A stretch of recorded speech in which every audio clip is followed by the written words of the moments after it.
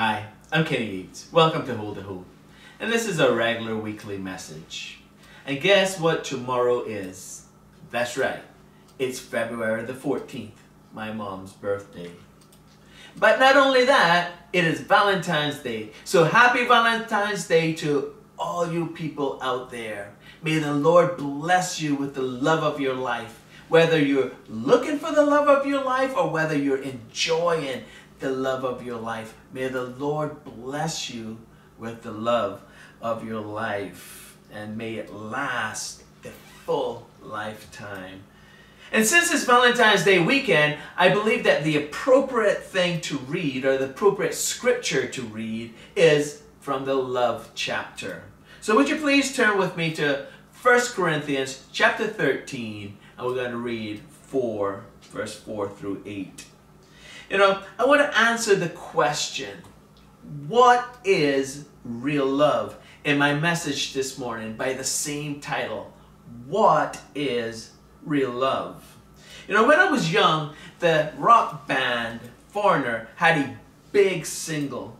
It, um, it was called I Want to Know What Love Is. And Lou Gramm belted out these, these lyrics. He said, I want to know what love is. I want you to show me. I want to feel what love is. I know you can show me. It was a really great song, but apparently Lou was very unfamiliar with love and its attributes. He was desperate for it. He even seemed to be diligently seeking it, but he didn't seem to know what it was. Another rock band, Nazareth, thought that they were familiar with love, and they described it this way. They said, Love hurts, love scars, love wounds, and marks. Any heart not tough or strong enough to take a lot of pain, take a lot of pain.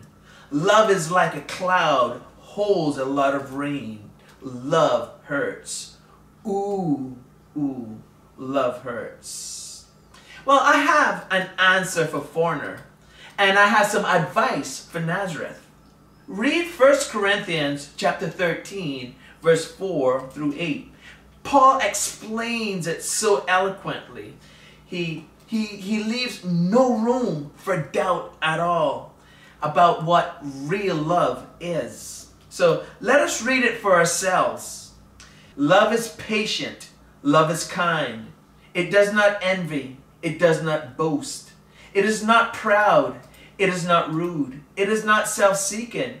It is not easily angered. It keeps no records of wrong. Love does not delight in evil, but rejoices with the truth. It always protects, always trusts, always hopes, always preserves. Love never fails. Paul left no doubt as to what true love is or what real love is. This is the legal definition of love because it is beyond any reasonable doubt. After reading this, you know exactly what love is. Love is patient Meaning, you don't get frustrated with those that you love. Which begs the question, who should I love besides my family? Well, Jesus answers that in general terms and in specific terms when the Pharisees were questioning him about the great commandment. Which is the greatest of all commandments? They asked Jesus. And he said in Mark chapter 12, verse 30 through 31, Love the Lord your God with all your heart and with all your soul and with all your mind and with all your strength. The second is this love your neighbor as yourself. There is no commandment greater than these. That covers everyone, yet still manages to place God at the top of the list, to place Him first. It is difficult to love like like 1 Corinthians chapter 13 if you don't first love God. Matter of fact, it is impossible to love like that. But someone will disagree with me. They'll say, What do you mean? I disagree with that. I love my wife. I love my children. Or I love my parents. I love my siblings. But this isn't that kind of love. We're talking about a different type of love here. I'm, I'm talking about the kind of love that Jesus described in, in Luke chapter 6, verse 32 through 36. He said, If you love those who love you, what benefit is that to you? For even sinners love those who love them. And if you do good to those who do good to you, what benefit is that to you? For even sinners do the same thing. If you lend to those whom you expect to receive, what credit is that to you? Even sinners lend to sinners to get back the same amount. But love your enemies and do good and lend, expecting nothing in return, and your reward will be great, and you will be sons of the Most High, for he is good to the ungrateful and the evil. Be merciful, even as your Father is merciful. Oh, now, Brother Kenny, that is difficult. That is probably impossible. No one can love like that. Well, I have read stories that beg to differ. In his book, Tortured for Christ, Richard Wurmbrand describes some hor horrific things that he suffered in the hands of the communist. He tells this story, and I want to quote it. He said, I have seen Christians in communist prison with 50 pounds of chains on their feet, tortured with red hot iron pokers, in whose throats spoonful of salt had been forced, being kept afterwards without water, starving, whipped, suffering from cold, and praying with fervor for the communist. This is humanly inexplicable. It is the love of Christ which was poured out in our hearts. End of quotes. Even after all of that, these Christians were pay, praying with fervor for the same ones who were torturing them, who were beating them, who were poking them with these red hot pokers. They chose to love, they chose to forgive, and they chose to pray for those same people. So don't tell the persecuted church that it is impossible to love like that. You came by a little too late to tell them that it's impossible to love. They love even those who are killing them. They're loving those who are torturing them. It is only impossible if you're trying to love with a secular love or you're trying to love with self. It just won't work. That kind of love comes from our Heavenly Father, from Almighty God Himself, who so loved the world that he gave his only son that whoever believes in him should not perish but have eternal life. That is true love. That is, is the true love that we're talking about today. But not only is love patient, but love is kind. It does not return railing for railing. It does not return insult for insult. It does not return hurt for hurt. It does not do any of those things. Jesus is a perfect example of love and kindness. Jesus was beaten. He was spit upon. They slapped him in the face. They mocked him. They publicly humiliated the Almighty God who came down to save them. They made him carry his own cross to Calvary to be crucified for crimes that he did not commit. They stretched out his arms and they nailed his hands to the cross. Then they stretched out his legs and nailed his feet to that same cross. Then they lifted him high and he hung between heaven and earth. And there, our Savior died for our sins, for my sins, for your sins, for the sins of the world, for everyone who, who come to him and ask for forgiveness, he will freely give because he paid the price, because he loved us so much. Jesus could have called 10,000 angels, but he refused to return railing for railing. He refused to, to, to come down off the cross, but he chose to stay there because he loved us. He chose to pay the debt that we could not pay. He chose. Why? Because he loved us. And some of his very last words, um, just before he died, were to the same ones who were killing him, who were crucifying him. He said, Father, forgive them, for they know not what they do. That, my friends, is love. That is real love. That is true love. That is kindness.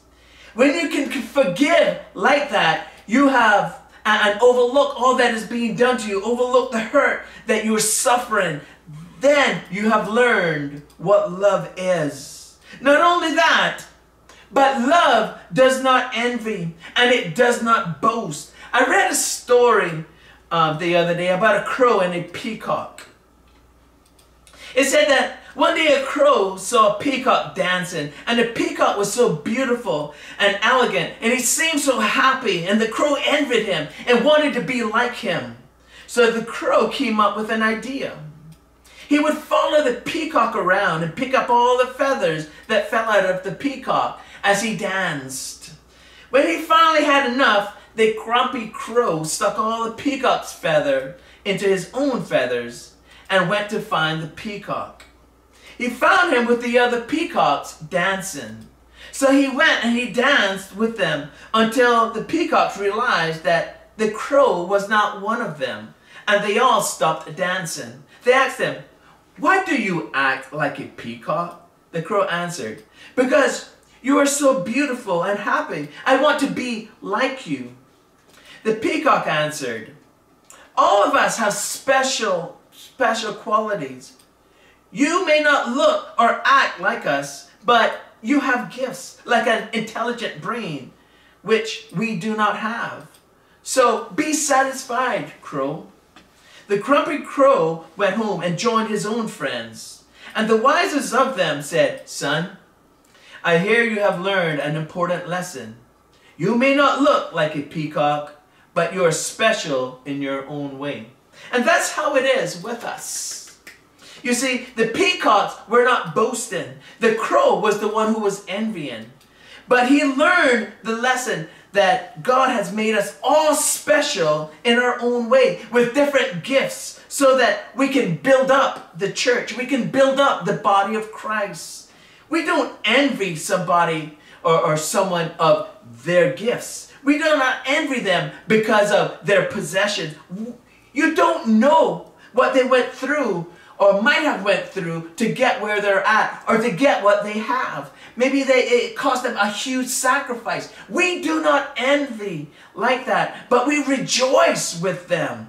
Therefore, love encourages. Love does not envy. Love does not boast. Neither is love easily angered and it keeps no record of wrongs. We do not think back. We do not um, um, make, make our memories recall what happened to us yesterday, what happened to us years ago, and, and we keep playing that. This one is totally impossible without God. You see, God is the God of love, and when he comes into us and He makes His home in our heart. He fills us with His love. And then we're able to do the impossible. We're able to love even when we're hurt, even when we're being persecuted. We choose to love. You see, like when someone cuts us off in traffic, we're not screaming and showing them fingerly gestures. No, we, we, we let that go. Instead, what we should be doing is saying a quick prayer of safety for that offending party who just cut us off. And when someone hurts us and does us wrong, we don't store it up in our memory banks and keep replaying it like some scene out of, out of a movie that we just watched. Like, we, we, we make like Elsa and we let it go. Why? Because love is not easily angered. Love does not keep record of wrongs. This same Richard Wurmbrand tells another story in his book, Tortured for Christ. And I want to quote. he wrote, When one Christian was sentenced to death, he was allowed to see his wife before being executed. His last words to his wife were, You must know that I die loving those who kill me. They don't know what they do, and my last request of you is to love them too. Don't have bitterness in your heart because they killed your beloved one. We will meet in heaven. These words impressed the officer of the secret police who attended the discussion between the two. He later told me the story in prison where he had been sent for becoming a Christian. End quote. True love conquers even the most hardened of hearts. The officer of the secret police who attended the discussion was so convinced of the truth of the gospel because of the sincere love this man had for those who killed him. And he encouraged his wife to have that same love that even though they were killing her husband, her loved one, he, he, he wanted her to love the communists who, were, who, who took the life of her loved one. And because of that, this hardened communist officer gave his life to Jesus and he became a Christian and he ended up in the same prison that he once oversaw. Love does not hurt. Love does not wound. Love does not mar, but rather it always protects, always trusts, always hopes, always preserves. There are no limits to the power of love. Warren Barfield wrote this song. Love is not a place to come and go as we please. It's a house we enter in and then commit to never leave. So lock the door behind you. Throw away the key. We'll work it out together. Let it bring us to our knees. Love is a shelter in a raging storm. Love is peace in the middle of a war. If we try to leave, may God send angels to guard the door. No, love is not a fight, but it's something worth fighting for. Love is worth fighting for. Whether it's our Christian love or, or, or our marital love, it's worth fighting for. There's another song that Hillsong sings that says, You didn't want heaven without us, so Jesus, you brought heaven down. My sin was great, your love was greater. What could separate us now? Jesus is the epitome of love. He chose to love even to his own hurt. He chose to protect even to his own demise. He chose to leave the splendor of heaven to come to this old dusty world to know what it was like to be hungry, to be thirsty, to be rejected, to be beaten, to be killed. All in the name of love. Remember the next time you feel offended or you feel the need to defend yourself, remember that love is patient, love is kind. Even in extreme difficulties, love is patient and love is kind. Even when the whole world is against you and the need to fight your own battles arises, love is patient and love is kind. Love is a choice. So this Valentine's Day, I encourage you, choose to love. Let your light so shine that others may see your good works and glorify your Father who is in heaven. Make a special effort to love your spouse. Make a special effort to love your family. Make a special effort to love your friends. And last but certainly not least, make a special effort to love God because He first loved us. This is your priority. Love the Lord your God with all your heart, with all your might, with all your mind, with all your strength, with all that is within you. Love the Lord your God because he first loved us and he died for us because he loved us. Jesus said that they would know us by our love. We are called to love. We are called to love unconditionally. But don't do it or don't try to do it on your own. We need to have the love of Jesus in our hearts first before we can love like that. So, the question is do you have the love of Jesus in your heart? Would you like to have the love of Jesus in your heart? All you have to do is to ask. And Jesus will come into you and he will sup with you and you with him. So if you would like to accept Jesus as your Lord and Savior, pray this prayer with me.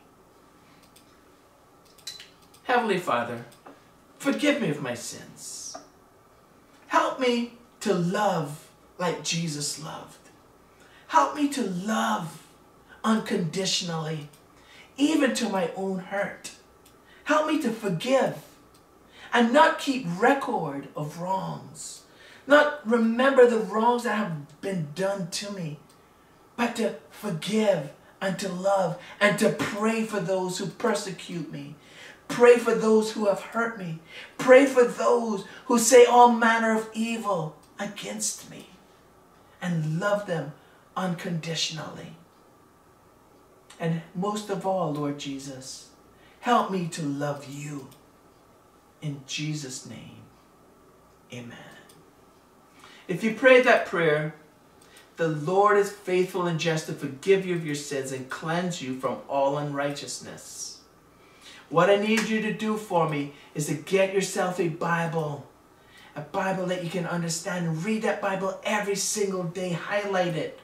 Highlight those love verses. Highlight the, the, those verses that are meaningful to you that will help you get through your day, help you to overcome, help you to love.